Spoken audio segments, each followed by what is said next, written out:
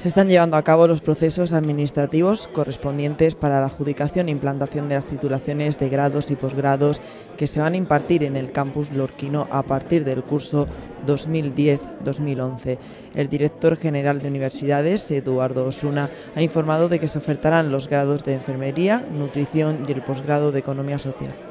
El título de enfermería va a ser una auténtica realidad y el título de nutrición son aquellos que en fecha próxima, en fecha muy próxima, van a ser remitidos a NECA y al Consejo de Universidades para posteriormente ser autorizados, como decía, por la comunidad autónoma.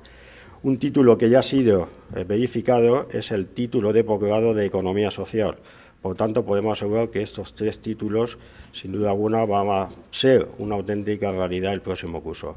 Osuna ha añadido que se está trabajando para que en el curso 2011-2012 también se oferte graduado social y los máster en audiología y en enfermería geriátrica. En cuanto a los procesos de contratación del personal asegurado que se está trabajando en tener los datos del profesorado que se necesita con el asesoramiento de la Universidad de Murcia y la Politécnica de Cartagena. En principio, para las tres titulaciones que se impartirán en el próximo curso será de alrededor de 40 profesores para el primer año académico.